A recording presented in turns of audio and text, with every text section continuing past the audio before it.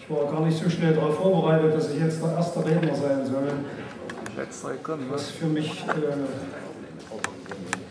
richtig.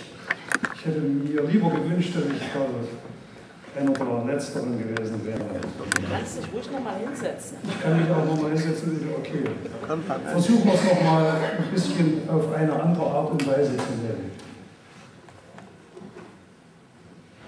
Viele, die mich kennen, und das sind die meisten, wissen, dass ich eine andere Diskussion in den letzten Wochen geführt habe, als die, die heute und hier aufgetaucht ist.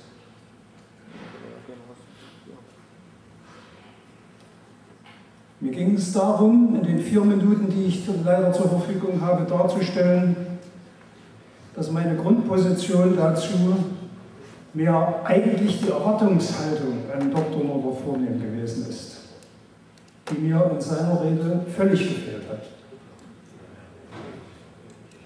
Ich weiß nicht, ob die große Politik mir wirklich an dieser Stelle hilft. Mir hätte geholfen, auf die Erwartungen, die hier in diesem Papier stehen, Antworten zu finden. Und von dir zu hören, dass du diese Erwartung erfüllen willst. Denn, liebe Genossinnen und Genossen, für mich war es bisher immer so, dass ich sehr offen und kritisch, wie das die Kirchen so sind, oftmals meine Meinung dazu gesagt habe, auch wenn sie vielleicht nicht so ins Konzept gepasst hat.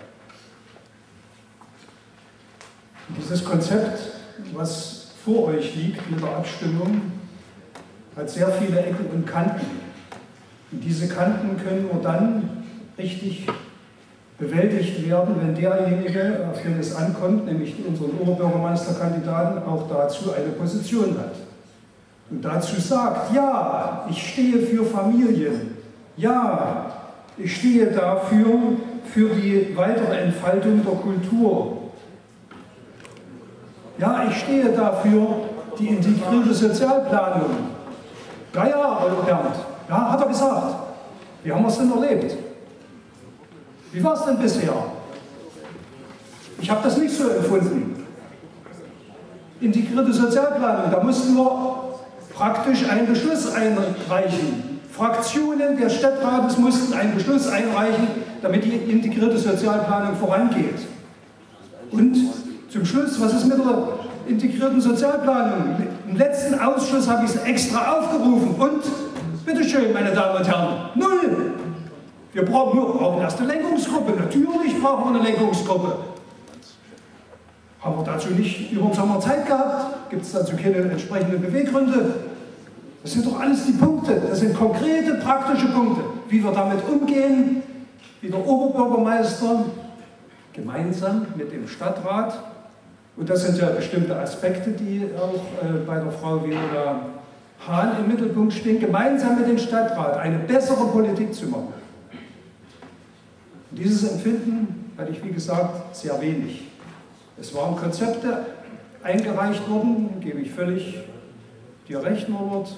Diese Konzepte wurden von dir vorgestellt. Wir haben danach beraten, sind zu der Auffassung gekommen, dass wir eine Koalition haben und dieser Koalition ist zu folgen. Alles in Ordnung.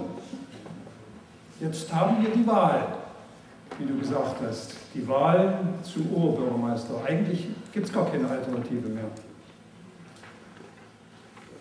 Andreas hat mir völlig, völlig mit Recht gesagt, dass wir einen Lagerwahlkampf haben. Auf der einen Seite Dr. Norbert Vornehm und auf der anderen Seite Dr. Viola Hahn. Und insofern gibt es gar keine Alternative mehr. Aber ich möchte doch am Ende wissen, wie geht es denn weiter? Wie geht es denn weiter mit unserer gemeinsamen Politik? Wollen wir das gemeinsam fortsetzen, wie in den letzten fünf Jahren, eine Ansagepolitik im Wesentlichen und eine Gefolgspolitik? Oder wollen wir eine gemeinsame Politik gestalten, entwickeln oder auch fortführen? Aber ein weiter so Bisher kann es nicht geben. Danke, die vier Minuten sind